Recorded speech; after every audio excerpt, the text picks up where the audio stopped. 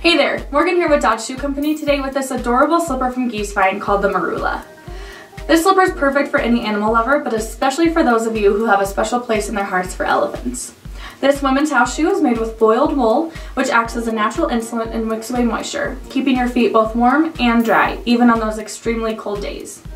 The process of boiling the wool ensures that the wool is soft and not itchy or scratchy on your feet, so you can be sure that your feet will be surrounded in comfort from the moment that you put them on.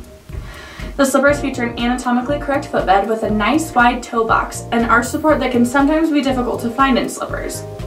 The footbed will mold to your foot over time, making these slippers more and more comfortable with each use. What else could you ask for? The DPL cup and metatarsal support also provide additional comfort, so you can hardly believe that you have a slipper on when you wear these.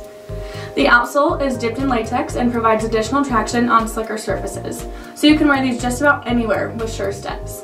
The non-polluting production practices that, these are made with will keep you and the elephants happy with your choice of the Giesswein Marula. And these adorable slippers, along with many other Giesswein styles, can be found right here at doddsshoe.com.